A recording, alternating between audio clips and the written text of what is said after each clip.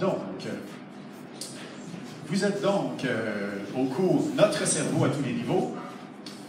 Euh, un cours qui s'inspire ou qui a un lien intime avec le site Le cerveau à tous les niveaux. sur ce site qui est accompagné d'un blog, hein, je vous le signale, parce qu'à chaque lundi, j'écris sur une recherche récente dans les sciences cognitives. Mais dans la section L'école des profs, vous allez trouver le PDF de, du PowerPoint que vous allez voir ce soir. Et vous trouverez aussi ce PDF sur la page de mon cours euh, du site de l'UPOP, donc upopmontréal.com. Et c'est là aussi que vous trouverez le Facebook Live si tout se passe bien. Le lien pour aller au Facebook Live. Donc, avant de commencer le cours, je sais qu'il y a certaines personnes qui étaient là il y a deux semaines. Combien à peu près étaient là il y a deux semaines? OK? Un petit test de rappel peut-être. Vous vous souvenez, cette cours sur la mémoire, j'avais une petite liste d'épicerie j'avais fait une espèce d'exemple fictif avec des, un trajet dans le parc. J'étais curieux de savoir s'il y en a qui pourraient se souvenir des quatre critères de ma liste. Je l'avais fait assez vite. Hein? Il y avait quelque chose de suspendu dans l'olivier, des yogourts grecs. Euh, il se pitchait un frisbee, mais il se pitchait pas un frisbee, il se pitchait un. Non, un bagel. Euh, il, jouait à pétanque avec une mangue. Et qu'est-ce qui jaillissait de la fontaine du parc La Fontaine? du jus Bon, ben, il faut croire que je l'avais fait un peu trop vite, mais c'est pas grave. Mais l'idée, c'est quand même que euh, pour euh, retenir des choses, quand on se fait une histoire farfelue, ça aide. Donc, aujourd'hui, on est rendu à la cinquième séance. Et euh, donc, on est à mi-parcours. On a déjà, donc, comme je l'ai dit, le cours continue après les fêtes. Et c'est un cours où on a commencé avec la question de la connaissance. Hein. Qu'est-ce qu'on peut connaître? Puis on était venu euh, à conclure finalement que c'est la structure de notre corps et de notre système nerveux qui influence, contraint et détermine grandement ce qu'on peut connaître. Ensuite de ça, on avait vu que cette structure-là de notre système nerveux, elle avait une longue histoire évolutive, on, l'avait faite, et ce n'est que il y a à peine euh, un siècle, un petit siècle, que, pardon, que les êtres humains ont commencé à étudier les neurones, les cellules de notre système nerveux, ont commencé à décrypter la grammaire de base de notre système nerveux. Donc, ça fait vraiment pas longtemps dans cette longue histoire-là qu'on commence à comprendre un peu comment on comprend et connaît les choses. Et ensuite, on avait continué il y a deux semaines en parlant hein, de certaines structures cérébrales avec des milliers, voire quelques millions de neurones, comme l'hippocampe qui est illustré ici, et on avait vu que chacune de ces structures-là, de par leur cytoarchitecture, de par leur connectivité, avait des capacités computationnelles qui, leur étaient propres. Et euh, souvent, on va en parler beaucoup aujourd'hui, euh, on assistait à du recyclage neuronal. Mais je vais en parler énormément aujourd'hui. Donc. Et donc aujourd'hui, on, continue, si vous comprenez bien, on est parti du, subjectif, ensuite du très petit. On a, on a parlé de quelques neurones, de milliers, millions de neurones, et on en arrive aujourd'hui à des milliards de neurones pour considérer l'ensemble du cerveau humain. vous allez voir que j'ai toujours ma petite, euh, mon petit, ma petite donnée amusante que j'ai découvert il n'y a pas si longtemps que compter jusqu'à un million à, toutes les secondes, hein, ça prend 11 jours. Alors que compter jusqu'à un milliard, ça prend 32 ans et demi. Donc, entre un million et un milliard, il y a beaucoup, beaucoup de, de différences. Donc, il y a des nouvelles propriétés qui vont émerger à l'échelle du cerveau euh, complet et on va en évoquer quelques-unes aujourd'hui et la suite de ça, ce sera après les fêtes. Euh, au menu ce soir, donc, euh, un, menu assez copieux, hein, comme à l'accoutumée. Et j'ai décidé quelque chose tantôt en, mangeant ma soupe. Je me suis dit, je vais y aller pas trop vite. Hein. Hein, on, va y aller, des fois je trouve que je vais, je vais trop vite. Puis s'il reste ça ou ça, on le fera après la pause. Puis ça, c'est pas super important, vous le direz, c'est de la culture générale. Fait que, on va prendre un petit rythme euh, pas trop emporté, puis on va y aller avec un intro historique de comment ça a commencé, ça, euh, il y a 200 ans, l'idée de vouloir faire des cartes du cerveau. Parce que ce soir, vous allez voir, on va être dans comment on peut cartographier cette affaire-là. Alors, on passe à Paris en 1810 avec un monsieur qui s'appelait euh, Franz Joseph Gall, hein, qui est considéré comme le père de la phrénologie la phrénologie, qui est euh, une théorie de la localisation des fonctions cérébrales dans le cerveau. OK, euh, on comprend ce que ça veut dire. Hein? Euh, sauf qu'à l'époque, ce qui prévalait un peu comme conception générale du cerveau, c'était l'idée, on l'avait vu à la séance numéro 3, je crois, l'idée d'un maillage en continuum, une espèce de continuum de, toile d'araignée. donc, une conception un peu plus holiste, si vous voulez, du cerveau. De sorte que lui arrivait avec son espèce de cerveau découpé comme un, bœuf chez le boucher. Et ça a fait débat, en tout cas. Alors, il avait donc cartographié ça avec des, euh, fonctions euh, psychologiques associées à différentes régions. Euh, il y en a qui sont plus ou moins surprenantes, qu'on associe encore allègrement aujourd'hui à des régions du cerveau, le langage, le traitement des, nombres, la forme. D'autres étaient plus exotiques, le, niveau de secret d'une personne, l'estime de soi, la bienveillance ou l'espoir. Il y en a d'autres qui sont intéressants. Et surtout, il y a cette idée que Gall avait qu'en tentant le crâne, on pouvait sentir certaines bosses qui correspondaient à certaines fonctions qui, étaient très, développées chez un individu. Donc, euh, en tentant les, bosses sur le crâne, on pouvait un peu euh, comprendre le devenir de ce jeune homme, par exemple. Et par dérision, on parle encore de la bosse des maths ou de la bosse des affaires, ça vient de là. Malgré tout, euh, l'idée que le cerveau était composé de plusieurs parties discrètes, donc associées à des fonctions psychologiques, est, très attrayante et assez euh, spontanée, on pourrait dire, et ça va s'imposer très longtemps. Euh, et aujourd'hui, beaucoup de neurobiologistes, et ça va être l'idée du cours, ça va être d'essayer de vous convaincre que c'est beaucoup trop simple et que ce n'est pas vraiment comme ça que ça se passe. Euh, mais on est pris au piège, encore une fois, avec l'imagerie cérébrale dont on va parler, on est un peu pris au piège des, des, beaux spots de couleurs qui s'allument quand on fait quelque chose dans un scan, pour le dire On continue notre histoire un peu de, cette émergence-là des cartographies cérébrales. On s'en va au Vermont, pas loin d'ici, en 1848. Vous connaissez peut-être l'histoire de Phineas Gage, un employé de, de chemin de fer qui euh, devait mettre la poudre dans un trou, vous savez, pour faire sauter des rochers comme ça.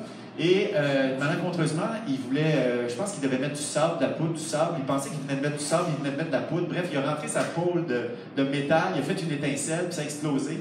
Et la pôle de métal lui a transpercé l'œil et le lobe frontal. Elle est sortie.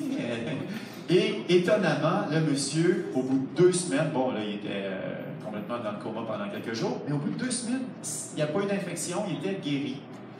Mais il était passé d'une personnalité euh, attentionnée, sociable, fiable, un bon jugement, à quelqu'un de complètement instable, euh, socialement, euh, arrogant, incapable de maintenir des bonnes relations avec quiconque. Et donc, c'est à partir de là qu'on a dit que aussi, on, a commencé à penser que aussi des traits de raisonnement social et des traits de raisonnement personnel euh, pouvaient avoir une certaine localisation dans le cerveau. Et ce qui est fun avec cette histoire-là, c'est que son crâne avait été conservé. Et dans les années 90, euh, Anna Damasio et ses collègues ont, par des techniques euh, d'imagerie, de, de, reconstitution 3D par ordinateur, avec les trous qu'il y avait dans le crâne, ils ont imaginé où la pôle était passée, puis quelle partie du lobe frontal avait été détruite. Et, ils, ça concordait avec d'autres syndromes frontaux qu'on connaît aujourd'hui. Vous pouvez toujours m'arrêter, hein, ça me permet de boire de l'eau. Donc, OK, on continue. On est rendu à Paris 1861. Là, c'est le dénommé Paul Broca hein, qui avait un patient euh, qui était devenu aphasique suite à un ACV et le patient ne pouvait que dire tant, tant, tant, tant, tant. Il ne pouvait dire que ça. Il comprenait ce qu'on lui disait, mais il répondait toujours par tant. Alors, à sa mort, il y a eu une autopsie et on a vu qu'il y avait un beau gros trou dans le cortex frontal euh, de l'hémisphère gauche. Et c'est ça qu'on a appelé l'ère de Broca. Et Broca, par la suite, a étudié huit autres patients avaient des déficits semblables, qui tous avaient euh, une lésion dans l'hémisphère frontal gauche, qui avait fait dire la phrase célèbre de Broca Nous parlons avec l'hémisphère gauche. Autre découverte, quand même, dans ce temps-là, que le langage semblait très latéralisé euh, à gauche, du moins la, production du langage.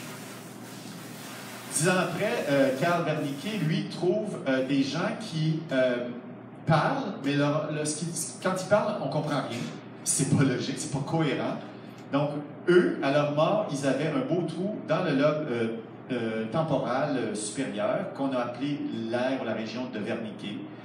Et euh, aujourd'hui, on parle encore donc d'aphasie déverniquée, les gens qui ont une ACV qui détruit cette région-là du cerveau. Euh, je pense qu'ils ne comprennent pas trop non plus, mais en tout cas, quand ils parlent, nous, on comprend rien. ce, qui nous ce avait amené les gens à ébaucher une première compréhension très schématique du langage. Il faut vraiment... Oui, mais c'est c'est une maladie? C'est une... La plupart du temps, c'est des ACV. C'est des accidents cérébrovasculaires, un vaisseau qui pète dans le cerveau puis qui fait un gros dégât. Ouais. Et donc, le petit schéma de base qu'on s'est dit, ben oui, l'air auditif primaire est dans le lobe temporal à côté de l'air de Wernicke. On entend quelqu'un qui nous parle, on comprend ce qu'il nous dit, on, dit, on prépare notre réponse verbale, puis on envoie ça à l'air motrice qui nous fait dire la réponse. OK. Bon, ben c'est ça. je peux m'en aller. C'est 5 Non, non, c'est pas 5 Là, je vous ai mis tout de suite un, un, schéma un peu plus contemporain qui montre qu'effectivement, euh, il y a plusieurs faisceaux euh, qui relient quand même beaucoup la région euh, temporale supérieure à la région frontale ici, mais au moins trois faisceaux principaux et de nombreuses connexions bidirectionnelles, comme vous le voyez. Hein, quand il y a une région A qui connecte à une région B dans le cerveau, vous pouvez être presque sûr que la région B connecte en retour. C'est très bouclé comme système, mais ça montre que c'est beaucoup plus complexe. Alors, on va parler des premières cartes maintenant du cortex, hein, notre fameux cortex. Mais avant, je voulais rappeler qu'une carte, c'est vraiment pas quelque chose qui est neutre et euh, c'est conventionnel. Hein. On présente d'habitude la map monde comme ça. On, peut euh, modifier un peu la, projection planaire, euh, ça donne ça. On pourrait s'habituer à voir le monde comme ça. Why not? C'est une convention qu'on la regarde comme ça. On pourrait le voir de haut, on pourrait le faire, par exemple, en disant que les pays sont représentés par la taille de leur population. Hein. Donc, une carte, c'est conventionnel, c'est nous qui décidons qu'est-ce qu'on veut essayer de voir dedans. Alors, ça va être la même chose pour les cartes cérébrales. Je vous garage tout de suite quelques, euh, quelques caractéristiques qu'on va vouloir cartographier. Ça peut être la cytoarchitecture, le type de, les types cellulaires qu'on retrouve. Ça veut dire que la cytoarchitecture va nous permettre de délimiter des régions. On va, en parler tout de suite. Euh, ça peut être les, axones qui relient les régions. Hein. On peut faire le, traçage des, grands faisceaux nerveux dans notre cerveau, une carte de route finalement. Ça peut être la répartition des neurotransmetteurs. Les neurotransmetteurs ne sont pas tous euh, répartis également dans le cerveau. Euh, plus de dopamine telle place, plus de sérotonine ailleurs, on peut checker ça avec des techniques comme le PET scan dont on va parler. ça peut être la structure, simplement voir le mieux possible les structures cérébrales au niveau, mettons, macroscopique l'IRM, euh, résonance magnétique, on va en parler. Et ça peut être la fonction, quand on vous met dans un scan, puis on vous demande de faire une tâche de mémoire ou n'importe quelle tâche. Là, on va, on va essayer de voir des régions qui, qui s'activent davantage, puis on va parler de ces techniques-là aussi tantôt. Mais comme vous le voyez, il est impossible de tout voir ça avec la même carte. C'est impossible. Donc, on va commencer par la cytoarchitecture. Donc, voici quelques premières cartes. On est rendu, vous voyez, au début du 20e siècle différentes cartes qui sont toutes basées pas mal sur la cytoarchitecture. On va s'attarder sur celle de Brodmann, qui est encore utilisée aujourd'hui. Hein. Les de, Brodmann, les 52 aires de Brodmann, parce que M. Brodmann avait eu la bonne idée de vraiment coller au plus près de la cytoarchitecture du cortex. C'est-à-dire que le cortex, vous voyez, euh, c'est 2-3 mm de neurones et il y a une organisation en couches. En fait, on les voit mieux ici. Il y a à peu près six couches principales. Puis, euh, ça, ça se voit avec plusieurs types de colorations. Là, on a différentes colorations, euh, Golgi. Euh, il y en a qui colorent plus les corps cellulaires seulement. Certains vont colorer... Hein, vous vous souvenez de la fameuse coloration de Golgi qui colore certains neurones, mais au complet. Qui colore toute l'arbre dendritique et tout ça. Donc, autrement dit, il regardait ça, puis il se disait, par exemple il était dans le cortex, il était dans cette région-là, le, cortex visuel primaire, puis il se disait Oh, regardons ici, la couche 4 est épaisse. C'est normal parce que c'est une couche, euh, la couche 4 qui reçoit beaucoup d'influx, euh, beaucoup d'afférences euh, du thalamus, donc du monde extérieur. Et elle, est, elle, est, grosse parce que c'est une région primaire. sinon, ben, on peut regarder une région motrice. Euh, l'ère de, de, Brodmann numéro 4, qui correspond essentiellement au cortex moteur primaire. Et à ce moment-là, on se rend compte que c'est pas la couche 4, regardez, il n'y a pratiquement pas de couche 4. C'est la couche 5 ou 6 où il y a de très gros neurones parce que c'est les neurones qui envoient leur axone très très loin, euh, jusque dans la moelle épinière pour rejoindre nos, nos motoneurones hein, qui vont, eux, activer nos muscles. Donc, c'est pour ça qu'il y a une grosse euh, couche 5 épaisse. Donc, l'épaisseur des couches varie. Fait lui, il se promenait, il faisait des tranches, puis quand il voyait qu'il y avait une couche qui variait d'épaisseur, il changeait euh, de numéro. Donc, pas il avait essayé déjà d'associer des fonctions euh, à des numéros, mais il n'en trouvait pas toujours. Fait qu'il restait avec des fois avec juste le numéro, ce qui était une maudite bonne affaire. Parce que vous allez voir avec le cours que c'est toujours casse-gueule d'associer une fonction à, une région. Puis s'il y a un take-home message à, voir, je peux vous dire tout de suite si vous êtes pressé, c'est qu'il n'y a pas de région spécialisée pour une fonction psychologique dans le cerveau. Ça, tout est dit maintenant. Mais maintenant, je vais essayer de détailler un peu. OK, on arrive à Montréal, 1935, euh, au Montreal Neurological Institute, avec Walter Penfield, hein, ce monsieur qui faisait des opérations à cerveau ouvert euh, pour enlever des foyers épileptiques et qui, euh, juste avant ces opérations, il profitait du fait que la personne avait le cerveau ouvert et il voulait surtout pas enlever des régions importantes pour la motricité ou pour le langage. Alors, avec une petite électrode, avant de faire une résection, il stimulait le cortex directement avec un petit courant électrique et la personne, euh, un des cas les plus célèbres, hein, disait à un moment donné Oh, ça sent les toasts brûlés. Parce qu'elle sentait une odeur de toast brûlé avec une certaine stimulation à quelque part là-dedans. Ou des fois, il y avait des, des, mouvements. Euh. Donc, lui, il a commencé à faire une carte, mais euh, c'était ce qu'on appelle l'homonculus hein, de, de Penfield. C'est-à-dire que sur le cortex, vous savez, le, cortex moteur, c'est une espèce de bande comme ça, puis le cortex somatosensoriel, c'est à côté ici. Et tout le corps est représenté de façon à peu près continue comme ça. Et quand il y a une grosse partie, ça veut dire qu'il y a une grosse région, une grande région du cortex, une grande superficie qui s'occupe de quoi? Ben, de régions, on voit que c'est les mains qui prédominent, qui ont une très fine motricité et une très grande sensibilité. Donc, ça prend plus de neurones pour traiter toutes ces informations. Donc, c'est ça que euh, Penfield avait amené, comme on semble avoir des cartes, des représentations ici de notre corps sur le cerveau, puis dans le contexte visuel, ben, ça va être une représentation du champ visuel. On semble avoir plein de cartes dans notre cerveau du monde ou de, notre corps. Et donc, là, j'en arrive à, vous dire un peu ce que j'ai dit tantôt. L'un des objectifs de cette séance-là, ça va être de passer d'une vision un peu simpliste du cerveau comme ça, avec des régions, la région de la parole, tout ça, du goût, de l'éludition. Donc, un objet relativement stable, régulier, avec des, des relations structure-fonction assez simples, à un modèle un peu plus euh, complexe, infiniment plastique, qui manifeste une relation structure-fonction de plusieurs à plusieurs. Puis ça, c'est vraiment la, dernière section du cours, on va, on va en arriver là. Comment on va passer de ça à ça? ben, restez ici dans la prochaine demi-heure, puis euh, c'est ça que je vais essayer de faire. Donc, juste donner un exemple fictif, euh, ici, on aurait ce genre de réseau-là où les régions qui sont reliées par des, connexions ici seraient impliquées dans le langage. C'est pas vrai, mais c'est quelque chose de même quand même. Et là, vous enlèveriez les lignes rouges et puis vous considériez maintenant les lignes bleues et du coup, vous auriez une autre configuration en réseau qui s'intéresserait à la reconnaissance faciale. J'ai vraiment écrit n'importe quoi. Là. Mais c'est l'idée que si quelques régions s'enlèvent et quelques régions s'ajoutent, ça peut changer complètement ce que vous êtes en train de faire ou de penser. Donc, c'est l'idée un peu très, très générale. Je vais essayer d'être plus subtil tantôt. OK, on va, ça, ce ne sera pas long. On va mentionner trois petits problèmes euh, pour montrer que ce n'est pas facile de cartographier un objet complexe comme le cerveau un problème de consistance. Ben là, vous irez voir cette vidéo-là, j'ai pas osé le, mettre, là, parce qu'il y a des gens qui mangent des fois pendant le. Mais c'est un cerveau qui vient d'être sorti d'un crâne lors d'une autopsie euh, quelques minutes auparavant. Et la dame le manipule, elle montre des endroits, elle le met sur la table, et là, vous voyez que c'est froid, carrément, parce que c'est très mou, un cerveau frais. C'est très, très mou. Et c'est très irrigué, là, c'est très euh, sanguignonnant. Voilà. Donc, il y a un problème de consistance. Si on ne le fixe pas, il euh, faut le fixer. Hein, c'est un cerveau comme ça, c'est un cerveau qui est mis dans le formol, là, qui, est comme un, caoutchouté un peu, là, ça se tient bien. Un problème de dimension, tout simplement parce que le cerveau, c'est un objet en trois dimensions. Et puis, euh, nous, ben, souvent, vous allez voir dans les prochaines diapos, ben, pour l'étudier chez le rat, par exemple, ben, on va faire des tranches, des tranches parce qu'on va vouloir la regarder au microscope. Mais quand on fait une tranche, ben, on coupe évidemment tous les axones qui sont dans le plan des tranches. Donc, euh, on perd beaucoup d'informations sur la connectivité à ce moment-là. Donc, euh, les techniques d'imagerie auxquelles vous savez qu'on a aujourd'hui vont résoudre jusqu'à un certain point ce problème-là.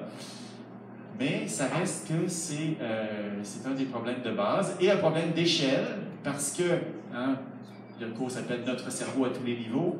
Vous le savez maintenant, hein, le cerveau est constitué de nombreux niveaux d'organisation, des, molécules aux neurones, aux circuits de neurones, aux structures cérébrales, etc.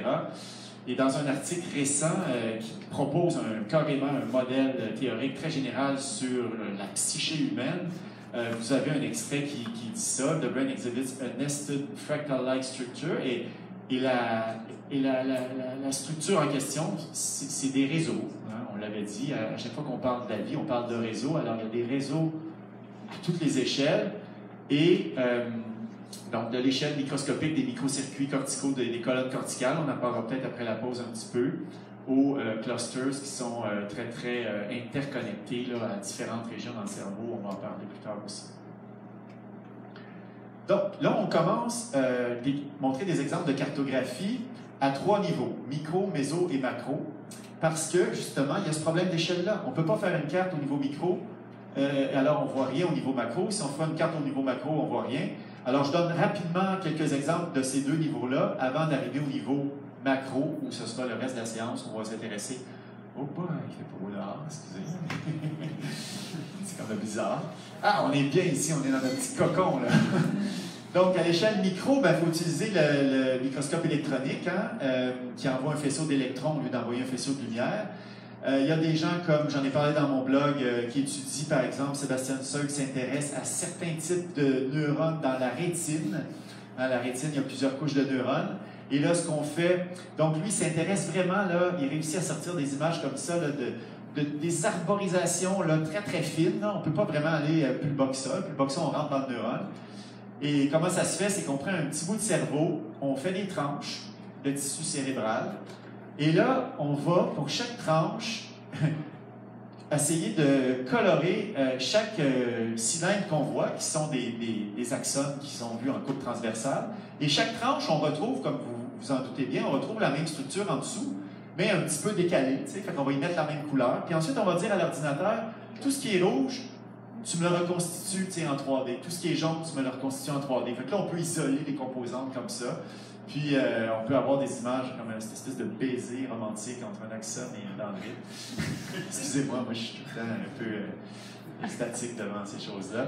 Puis un autre type qui fait un peu la même chose, un autre exemple, euh, Lichtman, lui, c'est l'inventeur de la coloration Brainbow, hein, qui permet d'avoir une centaine de teintes de, coloration des neurones.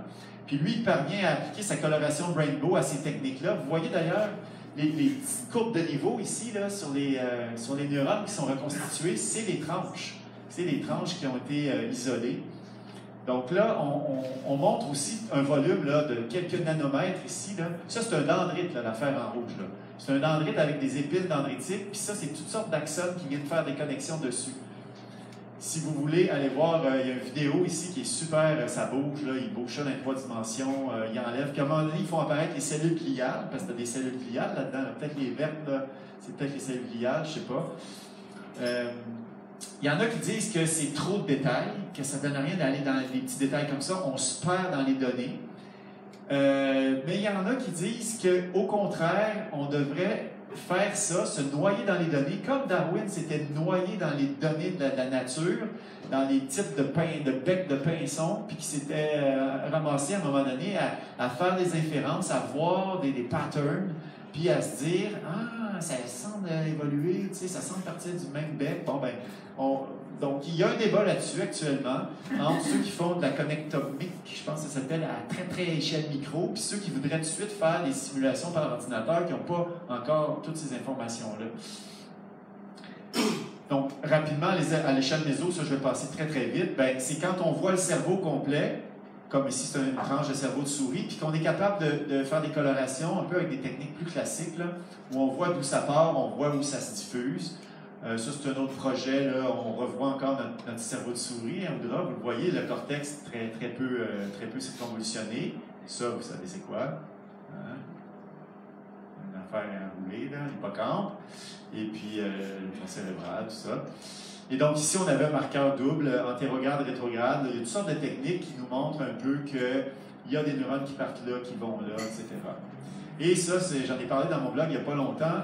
Ils ont réussi chez la souris à mapper à peu près tous les neurones. Donc, il y a, je ne sais plus trop combien euh, de neurones le cerveau de souris, 200 millions, je pense. Mais ils les ont mis dans le modèle, à peu près toutes.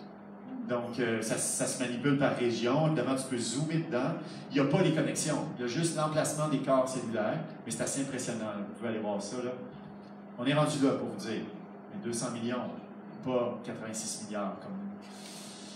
Donc, OK, on arrive à l'échelle macro. Puis là, on va parler de la vraie affaire qui nous intéresse. Donc, il y a des projets comme Big Brain, qui est un projet qui date déjà de, 5-6 ans. Là. Euh, le neuro à Montréal est impliqué là-dedans. Ils ont pris le cerveau d'une dame qui, était, qui est morte, à 65 ans et ils l'ont tranché en 7400 tranches de 20 microns d'épais. Donc, ça a pris à peu près après 1000 heures pour photographier toutes ces tranches-là et renumériser ça dans un ordinateur pour en arriver, et euh, je vais vous montrer à quoi ça arrive, mais euh, mentionner que pourquoi ils font ça alors, alors qu'on a une résonance magnétique, on peut voir le cerveau. Euh, ben, c'est parce que la résolution de ça est pas mal meilleure qu'en résonance magnétique. En résonance magnétique, on est de l'ordre de 1 mm3. Là, on va être 50 fois meilleur avec nos tranches de 20 microns. Donc, ça donne ça. Vous pouvez aller sur Internet ici, puis vous avez des tranches de cerveau de madame. Et là, je vous ai fait une petite simulation pour montrer un peu jusqu'où on peut aller. Donc, très, très beau cerveau, cortex, thalamus, hippocampe. Et là, on peut zoomer hein, dans le lobe temporal. L'hippocampe est encore là. Et je ne sais pas si j'ai une autre. Ça, c'est pas mal. Vous voyez, rendu là, là on, voit, on voit les corps cellulaires sont où, mais on ne distingue plus grand-chose. Les neurones sont très petits dans notre cerveau. Hein. Et donc, jusqu'ici, on regardait des cerveaux morts, et là, on commence à partir d'ici à regarder des cerveaux vivants. Donc, on est toujours dans l'anatomie du cerveau, mais cette fois-ci, oh, pardon, cette fois-ci, on va euh, commencer à regarder des cerveaux euh, vivants. La première technique qui est apparue dans les années 70, c'est l'imagerie. Ben, la première technique euh, dont je vous parle ce soir, c'est l'imagerie par résonance magnétique. Donc, ça a été quand même une bombe à l'époque, parce que vous allez voir pourquoi. Euh, on ne faisait plus appel aux rayons X, comme le CT scan, dont on va parler un petit peu tout de suite, mais on utilisait un gros champ magnétique pour aller chercher de l'information dans le cerveau. Je vais vous expliquer un petit peu le, principe de fonctionnement dans un instant. Ça, c'est une comparaison des meilleures images qu'on avait à l'époque en CT scan, puis ce que l'IRM a apporté. C'est quand même assez impressionnant. J'ai essayé de trouver des images euh, typiques, pas trop trichées, puis c'est à peu près la différence qu'on obtenait. Et donc, euh, parce que le CT scan, vite, vite, en gros, c'est un espèce de rayon X hein, qui tourne autour du, corps et du cerveau et qui, est reconstitué par l'ordinateur. Sauf qu'on a juste, euh, c'est là que je le dis, on a juste des coupes axiales avec le CT scan. Juste des coupes comme, comme ça. Alors que, avec l'imagerie par résonance magnétique, on a des coupes dans tous les sens qu'on veut. Axiales, mais aussi coronales, un peu comme ça ou sagittale, comme ça.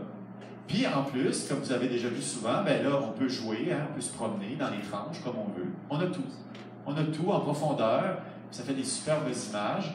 Ça nous sert, ça sert beaucoup évidemment en clinique pour détecter des choses grosses dans le cerveau, genre une grosse tumeur comme ça. Euh, on le voit tout de suite. Le principe de fonctionnement, là, il y a deux, trois machines, je vais expliquer le principe de fonctionnement, mais c'est tellement compliqué que euh, c'est un one-shot. Je vous le fais une fois, très vite. Ça ne sera sûrement pas clair, puis, mais, mais, vous allez avoir un feeling de l'affaire. OK? Fait que là, il y a un gros aimant, OK? Il y a un gros aimant, puis quand vous rentrez là-dedans, toutes vos, toutes vos, vos spins de protons s'alignent. OK? Vous êtes dans le champ magnétique, vos spins de protons. Les protons, euh, c'est dans, mettons, dans un atome d'hydrogène, donc dans l'eau, il y en a beaucoup. Et là, qu'est-ce qu'ils font? C'est qu'ils envoient une onde radio qui désenligne les spins qui force les spins à se mettre dans une autre direction que celui du champ magnétique. Mais l'onde radio, elle dure pas longtemps. Fait que dès qu'il arrête l'onde radio, les spins sont dans le champ magnétique, ils veulent se remettre dans le champ magnétique. Et c'est là qu'ils résonnent. C'est là qu'à leur tour, ils ont, ils ont un magasinet d'énergie, c'est là qu'ils repitchent de l'énergie. C'est cette énergie-là qui va être captée. Fait plus tu as une région euh, qui est hydratée, plus tu as d'eau, plus que ça va être foncé dans, dans, le, dans le film. C'est vraiment un petit peu le principe de base de ça. Alors, ça se passe comme ça. Vous voyez un sujet qui rentre dans la machine, puis euh, presque immédiatement, au bout de quelques minutes, on obtient euh, une image de, son cerveau comme ça. Et donc, oui. Donc, tu mesures aucune activité électrique, tu mesures juste les structures. On est juste dans les structures anatomiques, là. Euh, juste les structures. On peut faire des IRM hein, de tout le corps, du foie, du cœur, de tout. Donc, rien, rien de dynamique encore. Bonne, bonne intervention. Alors, on a un sujet ici. euh, bon, franchement, son cortex pariétal, euh, je trouve pas que c'est vraiment impressionnant, mais je peux me permettre de le critiquer puisque c'est mon cerveau que Parce que le sujet de la diapo de- de- précédente, c'était moi. Il cherchait à m'amener au MNA il y a au moins 15 ans des sujets sains pour une expérience. En tout cas, ils m'ont pris. C'était pour faire une cartographie générale du cerveau. Fait que, euh, donc, euh, j'avais demandé, je faisais déjà mon site depuis quelques années, j'ai dit, je peux te avoir des photos? Puis j'avoue que j'ai eu une émotion assez particulière euh, quand j'ai vu ça. Les, les cerveaux, j'en vois tous les jours, il y en a plein. Mais quand c'est le tien, t'es comme- il y en a-tu qui, dans la salle qui ont eu des résonances magnétiques? euh, Oui, oui, oui. Avez-vous vu votre cerveau? Non, non. Il y a quelque chose. tu checkes, en tout cas, tu checkes euh, vite, vite si tous les morceaux sont là. Et donc, il y a maintenant euh, accessible sur Internet, dans votre salon, vous pouvez des so- passer des soirées quand il n'y a rien de bon à Netflix, je ne sais même pas comment ça marche, à euh, scruter des atlas euh, de cerveau humain comme ça, vous pouvez vous promener dans toutes les directions, c'est fascinant. Pour présenter la technique suivante, je rappelle que, on voit ici notre, j'ai repris la diapo de tantôt, hein. Euh, J'en ai parlé avec les, euh, neurones du cortex moteur. hein. Beaucoup de neurones du cortex envoient leurs axones en profondeur. C'est ce qui forme la matière blanche. La matière blanche, c'est des axones entourés de myéline. Donc, ça, c'est tout du câble. Tout ce qui est en blanc, c'est des faisceaux d'axones, de neurones. Et donc, on va développer une technique pour mettre en évidence ces câbles-là, ces connexions-là, qui s'appelle l'IRM de diffusion. Ça, c'est apparu en 1985. C'est assez ancien, mais c'est devenu euh, plus beau. Là. Ça, c'était les premières images, ça donnait quelque chose comme ça. C'est le fun aussi, des fois, de voir la progression. hein. Déjà, c'était incroyable. hein. Ça mettait en évidence des câbles. Et ensuite, c'est devenu ça. C'est devenu ça. C'est devenu ça. Ça, c'est- ça commence à être vraiment précis.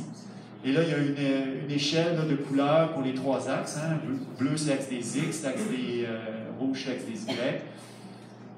Et même ça, hein, vous voyez là, on est rendu à un niveau. euh, on peut faire laminer ça puis mettre ça dans son salon puis dire que c'est de l'art. euh, Surtout si c'est cerveau. Ouais, c'est le tien, c'est vrai. Donc, OK, principe de base, encore une fois. euh, vous savez qu'il y a un mouvement brownien des molécules en général qui varie selon la température. Et bien, toutes les molécules dans notre cerveau, ils bougent. Les molécules d'eau, toutes bougent. Mais quand tu as un faisceau de fibres qui passe, les mouvements ne se font pas dans toutes les directions. Ils sont comme un petit peu plus contraints dans le sens de la longueur. Parce que c'est plein de fibres qui vont dans la même direction. Fait que là, le, mouvement, c'est un petit peu plus dans un sens. Eh bien, ils ont, ils ont imaginé, euh, ils ont réussi à faire des, capteurs où, qui isolent chaque euh, vortex, euh, pas vortex, mais voxel, pardon. Voxel, c'est comme un pixel en trois dimensions. Et donc, pour chaque voxel, il, il détecte la, la- la- la- direction préférentielle de vibration de la molécule, des molécules qui sont là. Et là, ils vont faire une espèce d'ajout. En fait, ils vont ajouter des lignes dans les, euh, qui ont des directions compatibles. Et là, ils complexifient comme ça, ils complexifient comme ça, puis finalement, ils en arrivent à créer artificiellement ces lignes-là qui sont comme un- un- déduites de la vibration moléculaire du mouvement brownien. Fin d'explication. Oui? Mais c'est capté comment, ce mouvement-là? C'est magnétique aussi? Qu'est-ce type de machine va le capter? Maudite bonne question. Là, tu pognes un point aveugle de mon, mon explication. Euh, c'est quoi qui capte ça? Écoute, euh, si tu veux trouver la réponse, puis je ne sais pas, je, je me demande si je l'ai même déjà su. Maudite bonne question. Qu'est-ce qui peut capter ça? Écoute, euh, demain, euh, je vais me remettre un élastique. Moi, quand je veux retenir de quoi, je pogne quelque chose dans ma poche, puis je le mets dans l'autre. Mais là, j'ai une corde, fait que j'ai l'air fou. Non, mais je te jure que mon, mon Kleenex qui va être dans l'autre poche va me faire penser d'aller. Et en février, au mois de février, je te promets que je reviens avec la réponse. Donc, donc on, on a une technique qui permet de voir les grandes routes. Donc, c'est anatomique, encore une fois. Il n'y a rien de dynamique là-dedans. On voit les, les faisceaux, les grandes autoroutes. Ça nous a permis quand même de découvrir certaines choses, euh, que l'organisation de ces routes-là n'est pas comme une espèce d'immense spaghetti euh, tout croche. C'est très ordonné. Ça forme souvent une espèce de textile, en fait, où les, fibres se croisent presque à 90 degrés. Euh, bon, il y a des raisons pour ça, on n'a pas le temps d'élaborer là-dessus.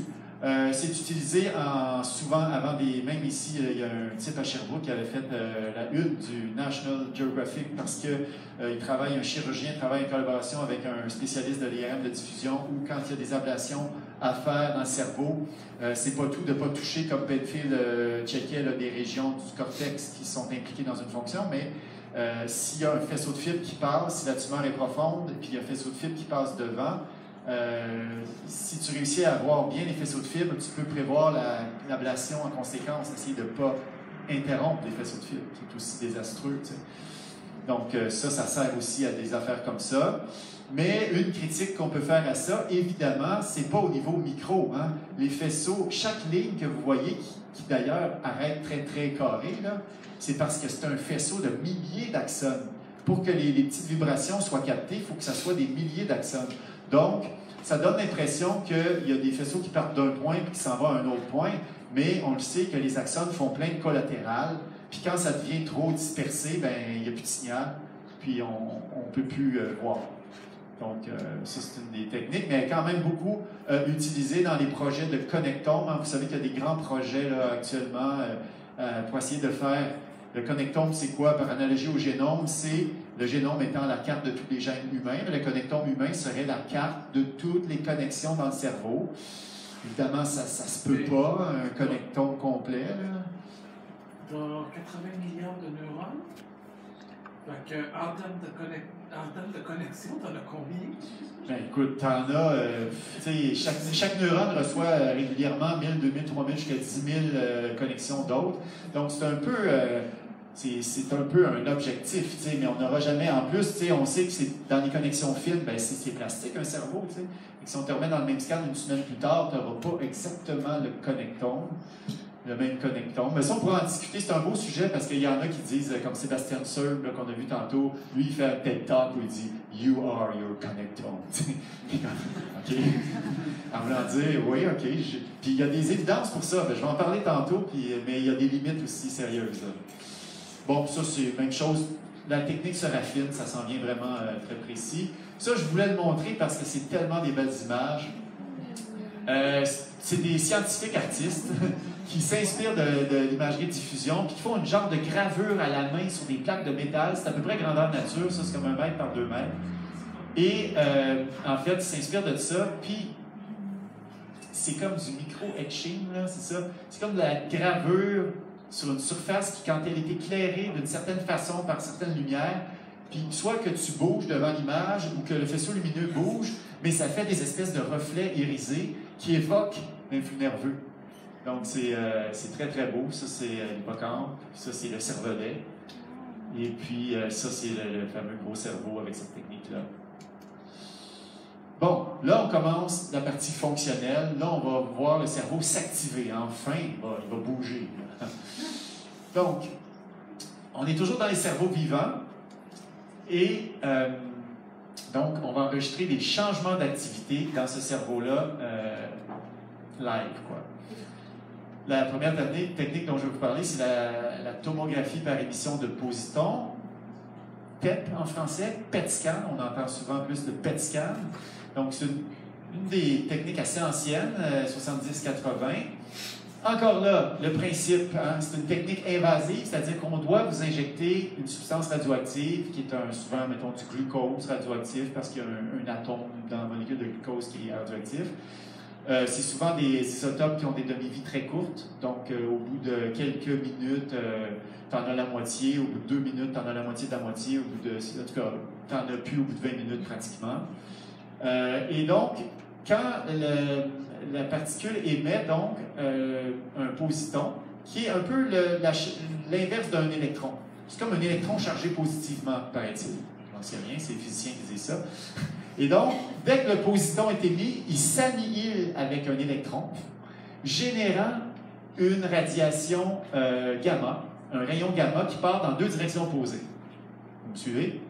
Et autour de la tête du patient, il y a des capteurs et c'est cette annihilation-là qui euh, génère un rayon gamma qui va être euh, capté. Et donc, l'idée derrière ça, c'est que j'ai introduit un phénomène qui va être maintenant à la base de toute l'imagerie quasiment dont on va parler, le phénomène de l'ajustement vasculaire quand une région cérébrale est plus active. Ce que je veux dire par là, c'est qu'on retrouve nos astrocytes, hein, on en avait parlé, nos cellules gliales qui, touchent aux, capillaires sanguins. Hein, le cerveau, c'est très, très irrigué. Et puis quand ces neurones-là, par exemple, sont plus actifs, eh bien, la cellule gliale le sent d'une certaine façon et va induire une dilatation euh, des vaisseaux sanguins pour qu'il y ait plus d'oxygène qui arrive ici et puis plus de glucose qui arrive pour nourrir ces neurones-là qui euh, utilisent beaucoup d'énergie. Donc, c'est des phénomènes vaso, de vaso-ajustement très, très fins et très rapides. On, on, a testé de différentes façons que oui, effectivement, quand les neurones sont plus actifs, euh, avec des animaux qu'on mettait dans des scans et, dans lesquels on enregistrait à la fois dans des neurones.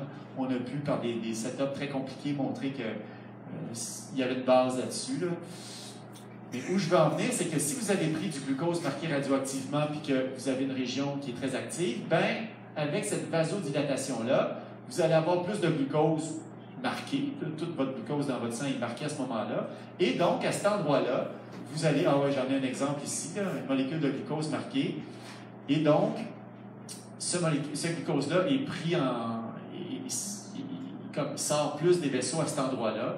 Et c'est ça que la machine va pogner. Elle va pogner beaucoup de rayons gamma de cette origine-là. En fait, je l'ai mal expliqué tantôt, là, ici. L'ordinateur détecte, à, chaque fois qu'elle a deux signaux, elle fait une espèce de, règle, pas de règle de trois, mais de règle balistique, je sais pas trop, puis elle trouve le point d'origine du rayonnement. C'est comme ça qu'elle peut reconstituer tous les endroits dans le cerveau qui vont avoir beaucoup de glucose marqué. C'est beaucoup d'endroits où les neurones sont actifs. Plus. Donc, on a le même sujet que tantôt, très positif, comme vous voyez, qui doit se faire injecter, parce que j'avais fait un TEP, aussi euh, à ce moment-là, euh, le petit marqueur. Et là, on faisait des tests, par exemple, il nous montrait, dans mon cas, cinq tableaux abstraits comme ça, pendant 2-3 secondes. Ensuite, il disparaissait, puis il en montrait un sixième. Il fallait que tu dises s'il faisait partie des cinq ou pas. Donc, un test de mémoire de travail, pourrait-on dire. Euh, ça. Et donc, ça, c'est un autre exemple. Et imaginez quand même, on est dans les années 70, 1970, et pour la première fois, on voit des différences chez un sujet. Quand on lui présente des mots et qu'il est simplement il les lit, on voit ce genre d'activation-là. Donc, euh, beaucoup d'activation occipitale.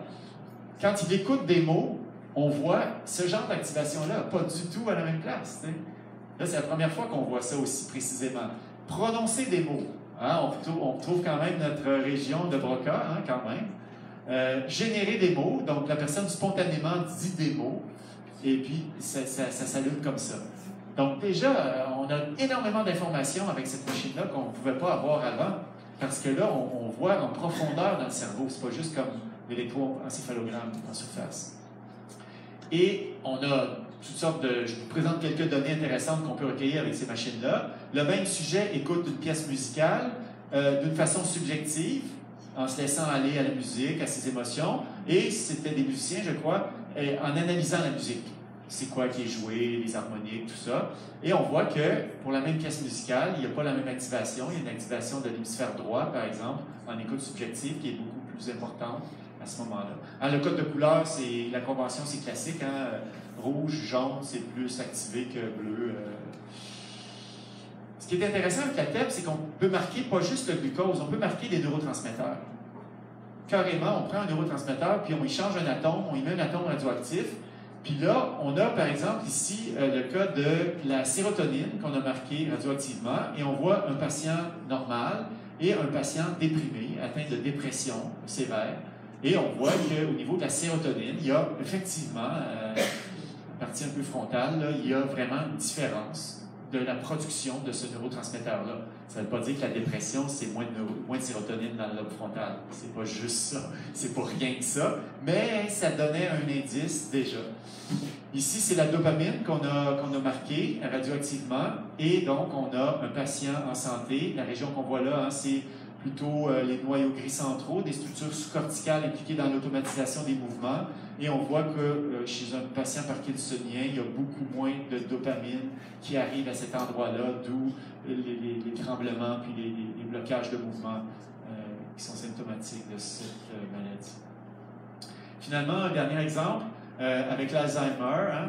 Vous savez qu'un des marqueurs biologiques de l'Alzheimer, c'est la, protéine amyloïde, les fameuses plaques amyloïdes. Alors, on, peut, avec le PET scan, détecter ces plaques amyloïdes-là. Euh, là, je ne pourrais pas vous dire exactement comment, mais on voit que chez un patient Alzheimer, on les voit beaucoup. On voit qu'il y a beaucoup de plaques amyloïdes. Chez un sujet normal, on voit qu'il y a beaucoup moins de plaques amyloïdes. Et on a aussi des sujets normaux euh, qui, qui ont très bonne mémoire, qui sont âgés et qui ont plein de plaques amyloïdes. 30% des gens euh, âgés normaux ont beaucoup, beaucoup de plaques amyloïdes et n'ont pas l'Alzheimer. Moralité, on ne sait pas c'est quoi l'Alzheimer. c'est pas juste ça. Il y a l'autre marqueur, les euh, dégénérescences neurofibrillaires, qui, elles, sont à l'intérieur des neurones. C'est un autre marqueur biologique, mais Mais on sait que les gens qui ont l'Alzheimer sont tous plus gros que les plaques amyloïdes. même pas. Même pas? Des fois, il y a des gens Alzheimer qui ont relativement, mais il y en a. Mais je pense qu'il y en a peu. Il y en- il y en- ça varie, là. C'est pas toujours, euh, toujours maximum de protéines. Ça varie. Mais, mais là, on rentre dans un monde Je n'irai pas plus loin. OK, on arrive à la technique un peu vedette, euh, la technique très employée, l'IRM fonctionnel. Donc, c'est une technique plus récente. Vous voyez, 1990, dans les années 90. Et euh, en fait, c'est un peu les mêmes machines que l'IRM euh, anatomique, mais les ordinateurs, les logiciels vont varier parce que, OK, je vais, expliquer, je vais expliquer le principe dans un instant. C'est juste pour montrer que des années 90 aux années 2010, les différentes techniques comme l'EEG euh, qu'on a ici en bleu, euh, avec la, puissance des ordinateurs, l'EEG, c'est vrai que ça a augmenté beaucoup, mais le PET scan qu'on vient de parler, vous voyez, c'est assez constant. Par contre, ça, c'est le nombre d'études, hein, le nombre de publications par année en IRM fonctionnel, euh, c'est très, très rendu très accessible. Avec raison, parce que c'est une technique qui est non invasive. On n'a pas besoin de rien injecter comparé à tantôt. On n'a pas besoin de rien injecter au patient. Euh, et ça va nous donner des informations euh, physiologiques. Au niveau de la résolution spatiale, euh, ça dépend de la force de l'aimant. hein. Pour des machines, à 3 Tesla, qui est les machines communes, je pense qu'on a encore aujourd'hui, c'est 3 à 4 mm la taille du plus petit point de couleur qu'on voit un voxel.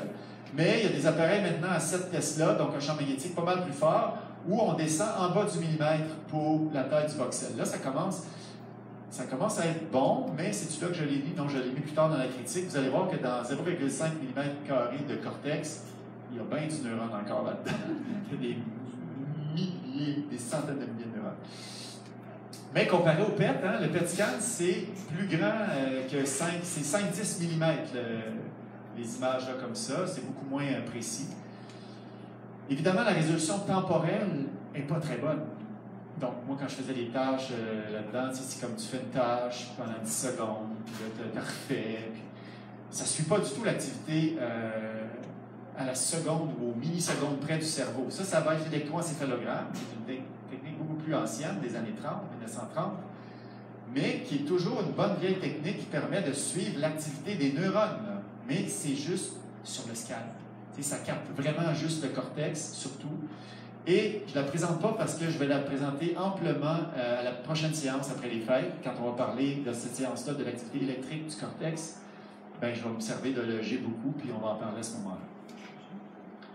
Alors, ça, ce que ça a permis déjà de découvrir euh, cette technique-là, euh, ça, c'est six sujets différents qui font la même tâche, le test de Stroop, le fameux test où on vous, dit, on vous demande de dire l'encre de, mots écrits en couleur, comme bleu, vert, rouge, mais le mot bleu va être écrit avec de l'encre jaune, puis le mot rouge va être écrit avec de l'encre verte. Puis vous, vous devez dire l'encre, c'est quoi la couleur de l'encre? Mais le mot, il nous pop, il nous pop, puis on est porté à dire le mot. Et donc, ces gens-là font cette tâche-là, et ce qu'on remarque déjà, c'est que différentes personnes ont différentes activations pour la même tâche. Il y a des gens qui c'est assez différent. Donc, on peut développer des stratégies cognitives vraiment distinctes face à une même tâche. Euh, première chose que ça peut nous dire. Il y a plein d'expériences avec des, résultats très clairs et très nets, comme celle-là. Quand vous regardez cette image-là, à moins que vous soyez médecin, infirmier, infirmière, euh, auquel cas vous aurez un profil comme ça, mais les gens euh, comme moi, j'ai déjà un petit peu euh, une petite palpitation dans mon cortex euh, somatossensoriel et singulaire antérieur, je sais pas trop, là. Euh, et les experts, justement, quand tu mets un médecin ou une infirmière, un infirmier dans un scan, ils voient ça, il n'y a pas d'activation ou presque là, puis il y en a dans le frontal.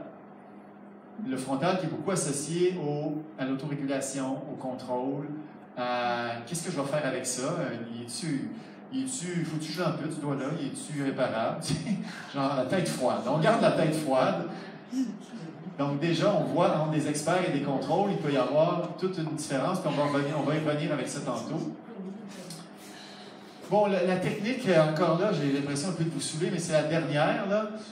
C'est encore basé sur la, la dilatation, euh, la dilatation des vaisseaux, mais en plus, il y a le phénomène que dans les globules rouges, hein, il y a une molécule d'hémoglobine qui euh, transporte l'oxygène. Puis quand l'oxygène se détache de l'hémoglobine, euh, l'hémoglobine, qui est une protéine, passe de sa forme euh, hémoglobine euh, avec H2O, avec, avec O2, à une forme de désoxyhémoglobine, qui est de l'hémoglobine sans O2. Et ça, ça change le moment magnétique de la molécule d'hémoglobine, qui est une molécule donc avec un atome de fer au milieu. Et donc, s'il y a de l'oxygène ou s'il n'y a pas d'oxygène, l'appareil de résonance magnétique détecte ces petits changements de moment magnétique. Et, euh, mais c'est très, très, euh, très, très touché parce qu'il y a plus de dilatation qu'il y a de perte d'oxygène. Bref, il faut faire un peu le, calcul opposé pour, en tout cas.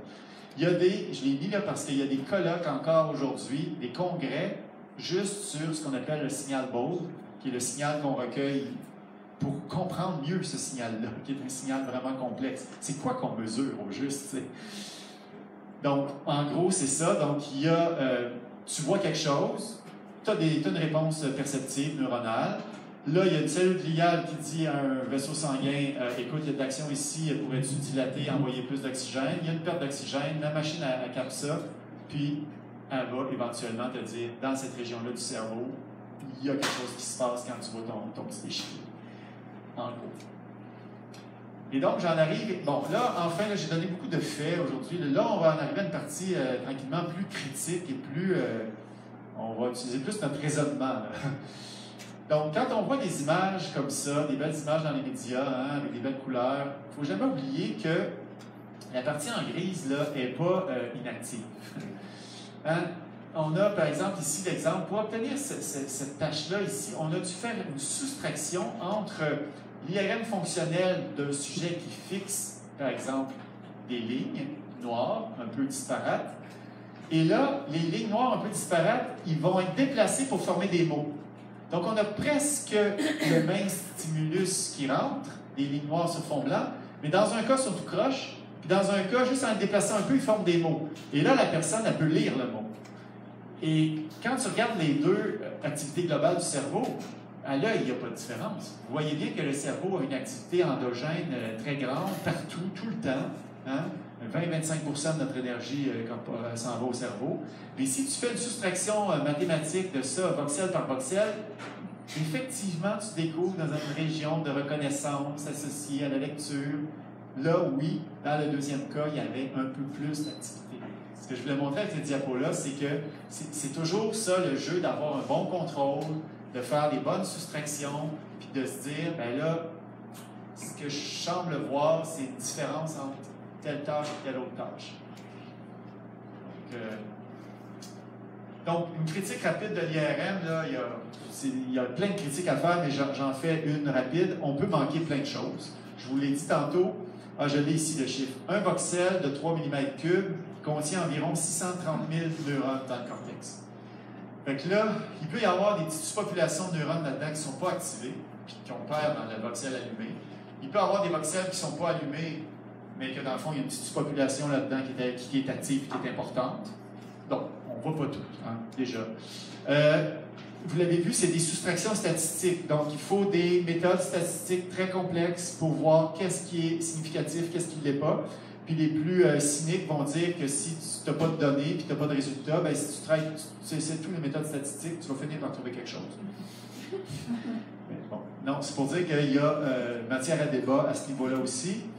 Et la question de l'échantillon, hein, il y avait un article qui avait fait grand bruit en 2013 où euh, cette chercheuse-là montrait que pour beaucoup, beaucoup d'études en imagerie euh, résonance magnétique fonctionnelle actuelle, l'échantillon de 10, 12, 13 sujets n'était pas suffisamment gros pour générer des, situations, des euh, résultats assez puissants statistiquement pour que ce qu'on affirme euh, puisse avoir euh, plus que je ne sais pas combien de pourcents de chances d'être vrai, mais euh, donc, il y avait un problème parce qu'au début, ça allait bien. Hein, quand on disait à la personne bouge ta main ou pr- prononce un mot, euh, on n'avait pas besoin de 60 sujets pour voir que c'était toujours pas mal la même région qui s'activait pour un gros comportement évident. Mais là, c'est que les expériences sont rendues tellement dans les détails. Ils vous montrent des, des, émotions, genre des photos d'émotions, euh, genre, tu sais, euh, le, le- dégoût, l'envie, la jalousie, toutes des émotions très, très proches. Puis là, là, ils font avec huit sujets ça, puis ils essaient de dire que une région qui est plus active dans telle situation que telle autre. On pousse un peu notre lock un peu trop des fois dans ces. Et il y a bien sûr la fameuse expérience du saumon. Je ne sais pas si euh, qui l'ont déjà entendu.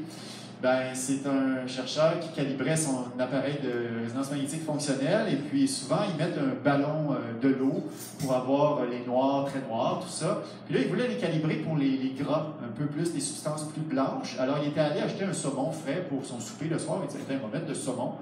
Puis, il s'était pas aperçu que l'appareil roulait, puis c'était une tâche de relation sociale entre des humains que le- on, devait, on cherchait à évaluer. Et là, il regarde l'appareil et le saumon avait une belle activation exactement au niveau d'une région de son cerveau face à la tâche sociale humaine. Le saumon mort. Fait que ça a fait les manchettes, euh, l'histoire du saumon qui s'active devant le tâche. C'est juste pour dire qu'il y a un seuil, il y a des seuils d'ajustement dans ces machines-là. Il faut faire attention.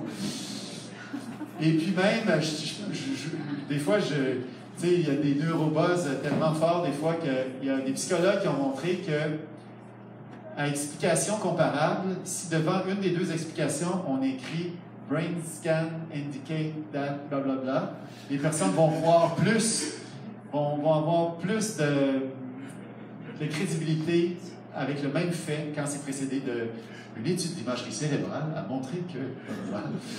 Donc, il faut faire attention avec ces biais euh, de jugement-là. Donc, Je pense, que- peut-être une petite. J'essaierai de faire ça dans les 10 minutes qui viennent, puis on se garderait ça peut-être pour après la pause, ça vous irait? Oui, vas-y. Comment on fait pour avancer si euh, à chaque fois c'est 10-20 personnes qui sont étudiées? Comment on fait pour avancer? Ben, avancer des, des, des choses aussi précises et. euh, Ben, C'est-à-dire que tu peux faire des stats avec 8-10 personnes, tu peux voir des choses, mais si l'expérience est reproduite dans un autre labo, il est fort possible qu'ils n'y arriveront pas à la même chose. Ils ne prouveront pas, ils verront pas exactement la même chose. L'échantillon n'est pas assez costaud. C'est ça, c'est ça le sens de la question? on avance quand même, puis. Non, mais- Non, mais suite à ce papier-là, là, il y avait eu une petite révolution dans le milieu. Là, là les scientifiques, ça se parle, puis on, plusieurs ont dit à leur raison. Là, parce que ça coûte cher, ces machines-là. C'était, tu sais, ça prend deux heures pour chaque sujet dans la machine, puis c'est loué, il y a des listes d'attente, tu sais. Fait euh, on, dit, OK, je pense qu'on peut sortir le papier, là, je pense qu'avec tel test statistique, là, on est correct, tu sais. Mais ils poussent, leur lot souvent trop, tu sais. Tu sais, c'est la, la sociologie de la science, tu sais, il y a de l'argent, il y a du temps, il y a la, la pression pour publier, il y a tout ça, là. Donc, donc, pour certains, justement, les, plus méchants disent, qu'avec l'imagerie par résonance magnétique fonctionnelle, on est en train de revenir à une forme de phrénologie, finalement. Il faut faire attention, ou de globologie, la, la science des taches de couleur, n'est-ce pas? Euh, donc, la question du où dans le cerveau, où, où, c'est une question qui est vraiment piégée et qui est peut-être pas très bonne. Euh, la meilleure question, c'est plus une question de communication entre régions. C'est ce que je vais essayer de démontrer dans les, les 10 minutes qui viennent. Euh, il y a des utilisations de l'IRM qui sont très bonnes, hein, qui sont plus comme ça, c'est-à-dire qu'on va présenter une tâche à une personne autiste, puis à, à des sujets euh, normaux, contrôle, et on va comparer l'ensemble des régions qui s'activent, puis on va voir, on va plutôt analyser les réseaux. hein. On peut voir toutes ces régions-là qui s'activent, puis on va voir des, on va essayer de voir un peu les, variations dans le réseau, plutôt que de chercher à identifier une ou deux régions fortement impliquées dans une, dans une région. Donc, ça, on va y revenir, je vais passer. Donc, on va donner quatre petits exemples de structures cérébrales qui vont euh, montrer que euh, c'est pas si simple que ça. L'amygdale, je pense que j'en ai- j'en avais parlé un petit peu, mais l'amygdale, très vite, dans les études de Joseph Ledoux dans les années 80, euh, quand un rat a peur d'une souris ou tu présentes juste une odeur, euh, un rat a peur d'un chat, euh, son amygdale euh, cérébrale est très active. Fait que très vite, on s'est dit, ah ah, on a trouvé le système d'alarme du cerveau, le centre de la peur, on l'a, c'est l'amygdale. Nous, on a une amygdale dans le cerveau, là, pas, la glande lymphatique qu'on a dans le cou, l'autre.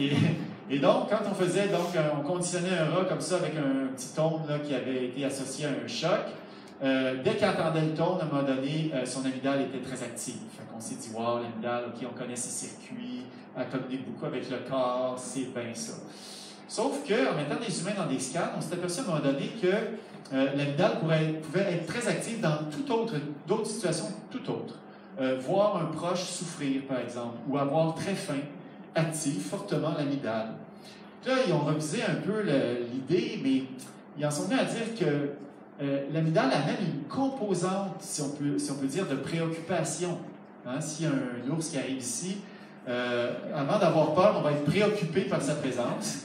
Euh, on est préoccupé quand on a très faim, puis on, a est préoccupé si ça pousse à l'action d'une certaine façon, puis ça dit Hey, check ça. Fait il faut voir l'amygdale qui est ici dans un réseau d'interaction de différentes structures. Ici, c'est un, réseau euh, qui, est impliqué dans un- une réaction émotionnelle.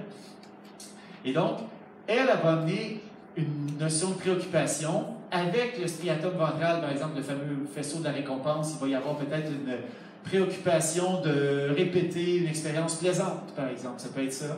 Donc, différentes régions vont se mettre ensemble, vont apporter leur petite saveur. Puis on, se met même à parler euh, assez récemment de profil, de diversity profile. C'est comme l'amygdale. Elle, elle a un profil comme, structure. Là, euh, elle est souvent dans des histoires de, de c'est comme euh, de ça, ce que je viens de dire. Là, On- préoccupation, euh, vigilance, nouveauté, attention, euh, détermination d'une valeur positive ou négative, euh, decision making, other. Bon, donc vous voyez qu'elle, elle a comme son profil. Elle ne sera pas dans d'autres choses, elle va, être dans. euh, donc ici, on a. euh, J'ai donné ça ailleurs, mais c'est juste pour dire, ça, je trouvais que ça montrait bien que, mettons que ça c'est l'amygdale, c'est pas l'amygdale, c'est une structure du cerveau. Là, elle est dans une coopération quelconque, puis c'est quelque chose par rapport à la sémantique, mettons. Là, au niveau d'une émotion, paf, elle contribue avec vraiment d'autres structures, tu vois. Puis ici, au niveau de l'attention, ben, elle va avoir des liens avec encore d'autres structures. Comprenez-vous? On va parler de. Dans le même schéma, tu avais euh, une structure, l'insula, le cortex insulaire, hein, qui est euh, une structure qui, est très souvent activée dans les études d'imagerie cérébrale. Tu as d'activation là. euh, même chose dans le cortex front- préfrontal. Ça inclut son profil à elle, si on veut, des, une, une comment dire, oui, une introspection de, nos, euh, de nos, euh, ce qui se passe dans notre corps, les émotions, l'empathie. Euh, mais comme ils disent, elle est très difficile à isoler comme réponse. C'est- impossible d'avoir une réponse de l'insula tout seul. C'est une structure particulièrement réseautée avec d'autres. L'insula, c'est où? Je vais continuer un petit peu l'insula. Il y a quelque chose d'éducatif à dire là-dessus. L'insula, on a découvert un peu sur le tard parce que c'est un repli du cortex très dur à voir de l'extérieur. hein. Il est comme à l'intérieur, comme ça. Euh, et elle s'active entre autres euh, lors d'un dégoût alimentaire. Quand il y a de la bouffe avariée, l'insula est très active. Ça va avec l'interoception, ce qu'on vient de dire. Mais elle va aussi être très active lorsqu'on est en présence de gens qui sont très différents de nous. Les gens du de out, out group, out group, les autres, un étranger, un étrange. Donc là, il y a comme un recyclage. Euh, probablement, il y a quelque chose de retrait, de prudence qui est réutilisé beaucoup plus tard dans l'évolution euh, pour ce qui est de cette question là, de, méfiance un peu, euh, instinctive de, quelqu'un très différent de nous.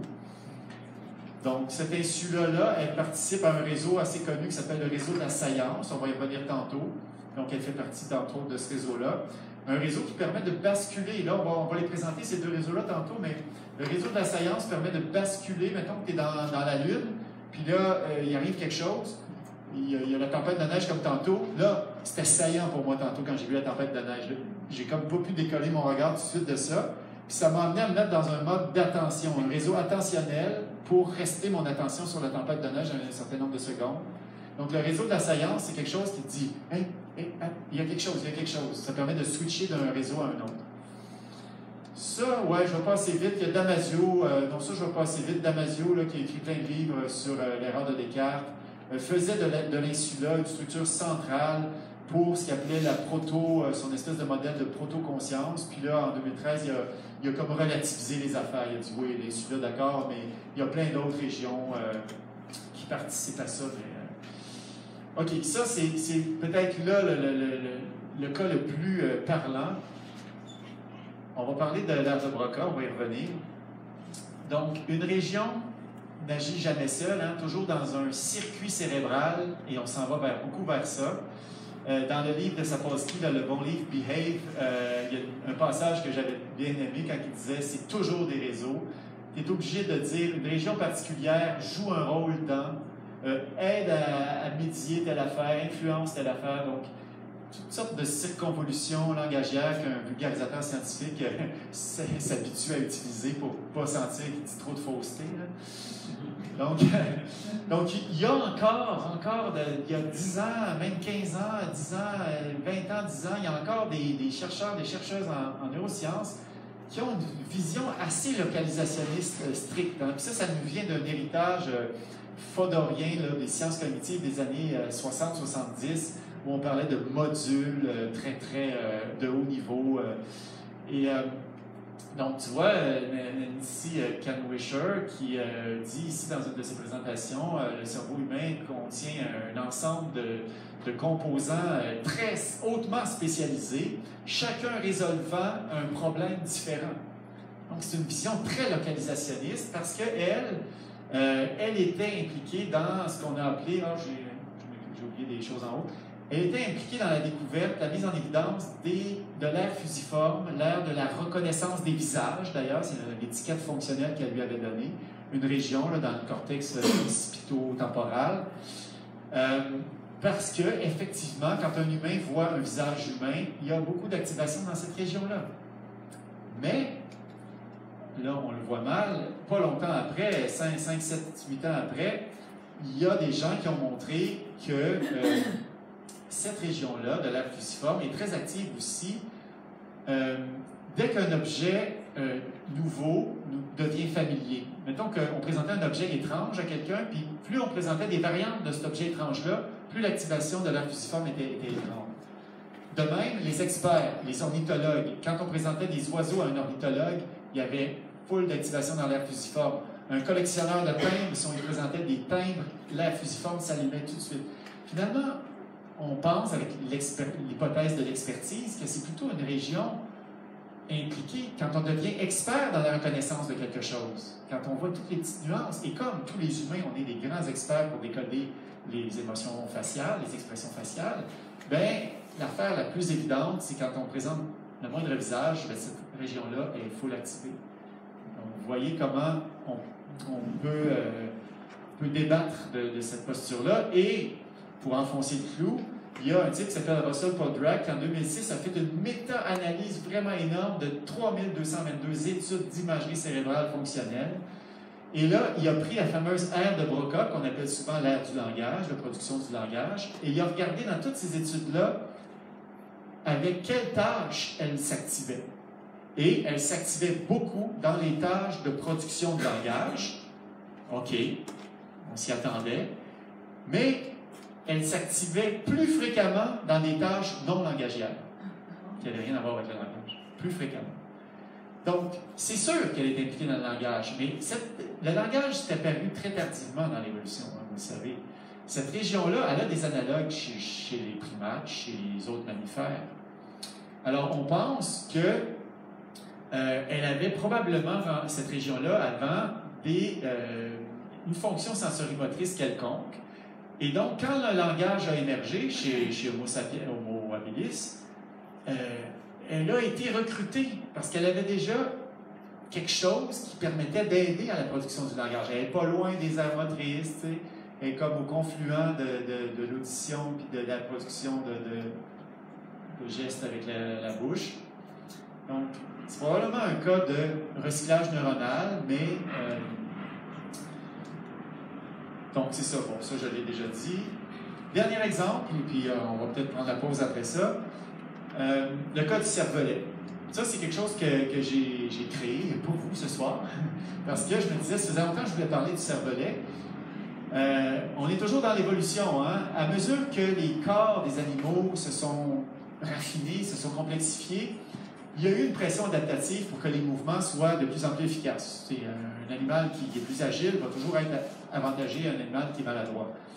Et donc, très tôt, on voit euh, chez, les, les vertébrés hein, apparaître cette structure qu'on appelle le cervelet et, qui, chez l'humain, et là je vais vous, donner les, les, les, faits absolument euh, époustouflants sur le cervelet.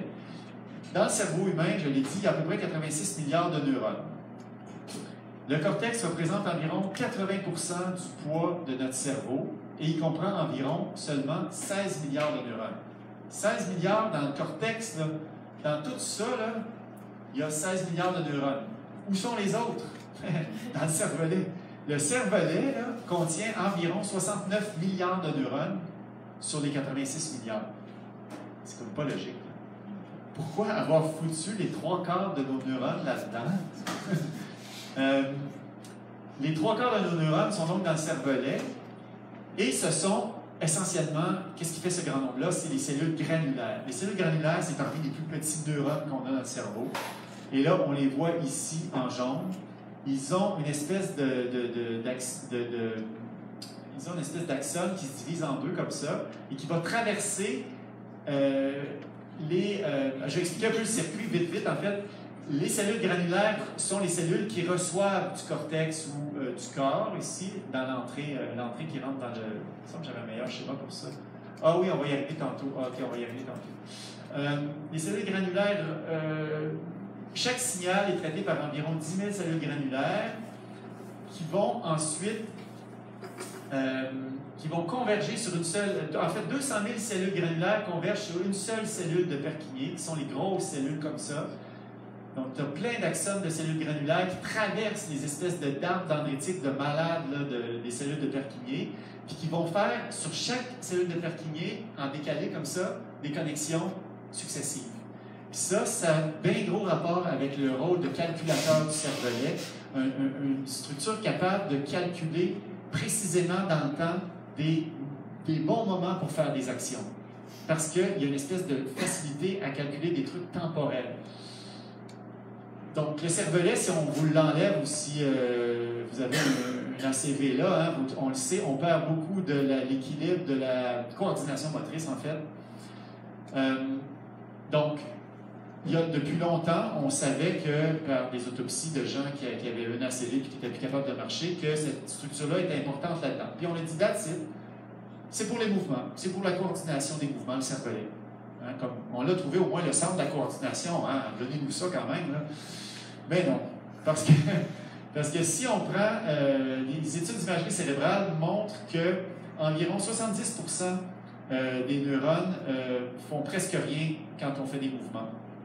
Donc, il y a à peu près juste 30% des neurones qui s'activent dans le cervelet quand on réalise des mouvements. Que font les 70% autres? Ben, ils font plein d'autres choses impliquées dans des processus de haut niveau, comme nos pensées, nos émotions, le langage et même la mémoire. Le cervelet est impliqué dans plein d'affaires. Bon, je lis ici mon schéma. Vous voyez, les, cellules granulaires sont en gris. Les afférences arrivent comme ça. Toutes les axones des, euh, cellules granulaires montent, traversent les cellules de Purkinje. Puis là, il faut en imaginer le plein, plein, plein en ligne. Puis ça ressort du cervelet comme ça. une fois que les signaux ont été réduits euh, dans la complexité, ça ressort comme ça. Donc, c'est un sous-traitant. Il faut voir le cervelet comme un sous-traitant pour divers processus mentaux. Lui, c'est le sous-traitant du, je sais pas, du calcul précis, on va dire. Puis il, peut apporter, calculer précisément des affaires, calculer précisément le moment où on enligne les mots, le moment où on, bouge la tête, ou je ne sais trop, ou non, euh, je voudrais prendre un exemple euh, de haut niveau, là. le moment où on enligne les mots, c'est peut-être ça. Parce que justement, je vais trouver un exemple dans le langage. Ici, on voit une activation du cervelet euh, dans une tâche. Ah oui, ça c'est drôle. Je me suis inspiré beaucoup d'un article d'un type qui est spécialiste du cervelet, puis il dit souvent ses collègues l'appellent pour lui dire genre, bon là j'ai une activation, euh, je faisais une tâche sur, euh, je sais pas moi, la perception des émotions, euh, de, de- de joie chez un sujet, puis j'ai une activation dans le cervelet. Qu'est-ce que je fais avec ça? Ben, tu l'intègres dans ta, théorie parce qu'il est impliqué dans, ici, il est impliqué dans la complétion, de phrases. Quand on complète une phrase, il manque un mot, ça va chercher dans le cervelet. C'est juste pour déconstruire le mythe tu sais, de, de cervelet égale mouvement ou cervelet égale. euh, donc, pour une mise au point rapide, c'est ça que je disais, euh, les émotions peuvent être euh, ajustées finement. hein. Quand on parle à quelqu'un, puis oh, il nous dit quelque chose, puis on n'est pas sûr, puis on s'ajuste nos émotions très très rapidement. Oui, euh, Ben, Sylvie? Dans nos souvenirs, à l'époque, le le cervelet, on disait qu'il y avait beaucoup d'impact, pas d'impact, mais un rôle important dans les- la- la- l'assimilation des patterns. Oui, Que c'est ce ça. soit moteur, que ce soit langagé, Ouais. ou autre. Puis on, on se on se faisait une espèce d'idée que le cervelet libérait le cerveau pour faire d'autres tâches. Dans le sens que tu n'as pas besoin de réfléchir à comment tu marches constamment. Ouais, marches. ouais. Un peu comme les noyaux gris centraux, là, on dit ça, des noyaux gris centraux. Mais, euh, plus vrai, mais en tout cas, la reconnaissance de pattern, ça, oui, dans le sens que je l'ai relu dans cet article-là d'ailleurs. Ils, reconna- ils reconnaissent des patrons, mais un patron, c'est un- c'est une succession de quelque chose, dans l'espace ou dans le temps. Donc, on a cette idée de succession aussi qui, je ne peux pas en dire plus, mais, euh, ouais, l'idée de. Est-ce que. quand on parlait du sous-traitant, ça me fait penser à ça? Ouais. Ben là, il faudrait voir si dans les gestes impliqué, par exemple, dans la marche. Oui, Alors, Qui est- qui est un processus automatique. c'est- Si tu n'as pas de cervelet, tu vas avoir de la misère à marcher, effectivement. Alors, t'as- t'as- c'est comme si tu avais perdu la mémoire de la séquence faut faire quand oui, tu oui. marches. Ah oui, c'est ça. Mais elle n'est pas perdue, en fait, elle est intériorisée et automatisée complètement. C'est ça. C'est pour ça qu'il s'active quand on marche, c'est pour ça qu'il s'active probablement quand on complète une phrase, parce que quand on dit euh, euh, le chat dans le. Il, il été pris le chat dans le- la main. Non, il été pris la main dans le. Là, il y a, il sac. C'est peut-être un pattern. Tu sais, ça peut être vu comme ça, peut-être. Donc, euh, bon, écoutez, je, m'en allais, je m'en allais du conclure, pas tout à fait, mais ça achève. Mais si vous voulez, on pourra prendre une pause, puis euh, revenir après la pause avec un petit 10-15 minutes. On pourra parler, on pourra faire le petit 15 minutes final. Merci.